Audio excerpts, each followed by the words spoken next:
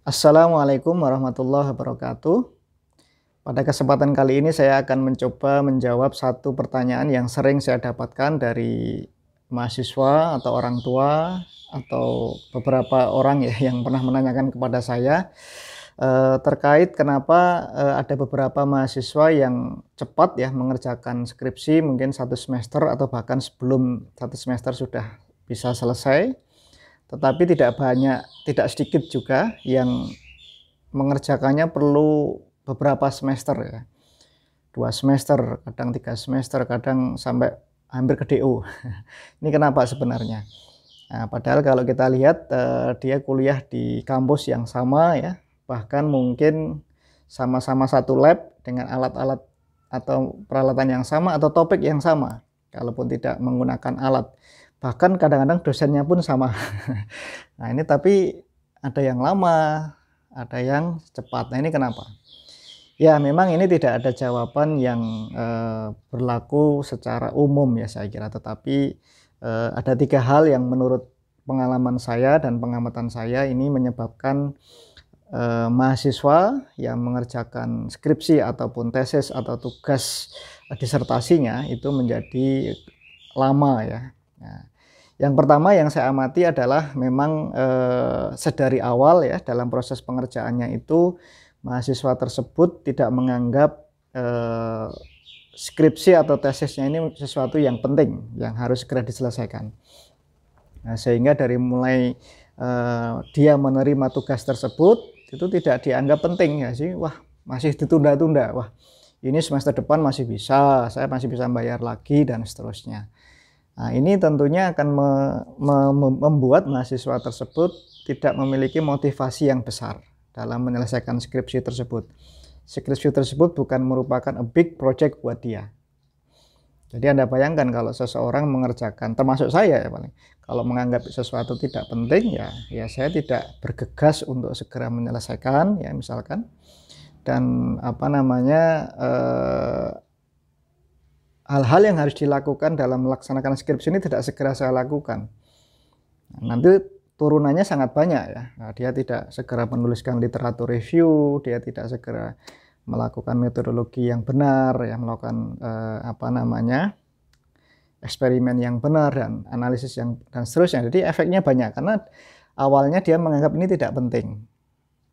Itu biasanya. Yang kedua, memang eh, komunikasi dengan supervisor atau pembimbingnya kurang lancar ya. Ya, kurang lancar ini bisa jadi dari dia sendiri ya. Pembimbing sudah menyediakan waktu untuk bertemu setiap minggu ya. Dia tidak memanfaatkan ya. Bahkan ada yang tidak hadir ya. Nah, kalaupun hadir dia tidak mempersiapkan dengan baik, tidak memanfaatkan untuk menanyakan hal-hal yang memang harus dia eh, tanyakan misalkan ya.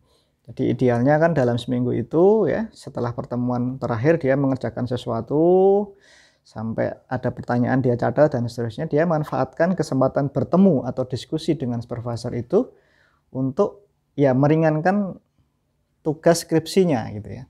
Nah, ini enggak dia datang ya apa adanya gitu ya. Nanti setelah eh, biasanya diwajang atau diberikan masukan-masukan oleh supervisor ya ya sekedarnya saja dan dan tidak ada tindak lanjut. Akhirnya bul, uh, minggu demi minggu tidak ada progres yang yang yang maksimal gitu ya.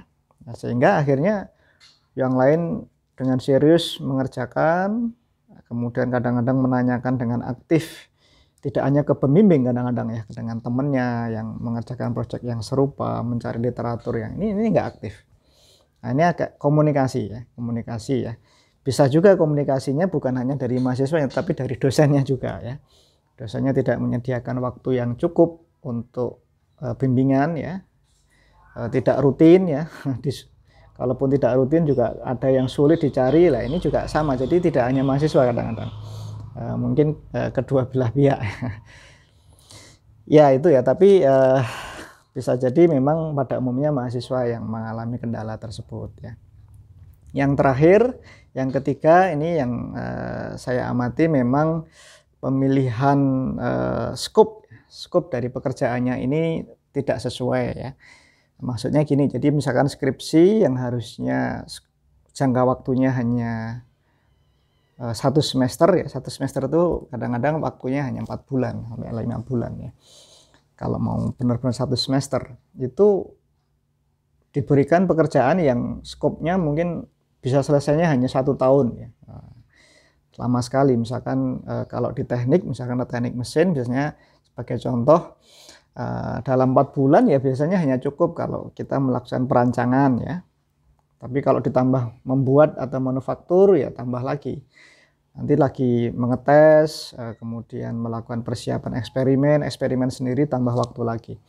Nah jadi tidak mungkin kalau uh, seseorang diberikan tugas dari merancang membimbing uh, apa namanya membuat kemudian sampai melakukan eksperimen itu juga diberikan satu semester lah. Itu kadang-kadang terjadi seperti itu jadi saya menjumpai sampai mahasiswa ada yang satu tahun ya karena wah ternyata dari merancang sampai membuat sampai mengetes. Lah itu sebenarnya lebih cocok misalkan untuk topik S2 ataupun S3 nah jadi seperti itu. Kadang-kadang memang ini harus di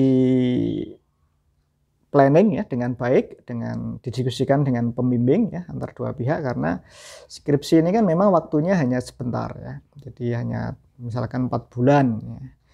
Nah, jadi tidak mungkin kita menyelesaikan pekerjaan yang diberikan itu sampai untuk uh, pekerjaan yang satu tahun ya itu memang agak kesulitan. Nah, ini kadang-kadang yang akhirnya menyebabkan beberapa mahasiswa mengalami kesulitan dalam menyelesaikan. Kalau terlalu lama kadang-kadang dia dia juga teman-temannya sudah lulus ya.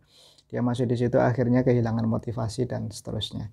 Ya saya kira tiga hal itu untuk sementara. Jadi sebenarnya masih ada beberapa yang mungkin uh, bisa dibahas di kesempatan yang lain. Mudah-mudahan Anda dengan uh, mengetahui tiga hal ini bisa uh, menjadi pelajaran ya supaya uh, skripsi Anda bisa lebih cepat ya, lebih lancar dan sukses studinya. Terima kasih. Assalamualaikum warahmatullahi wabarakatuh.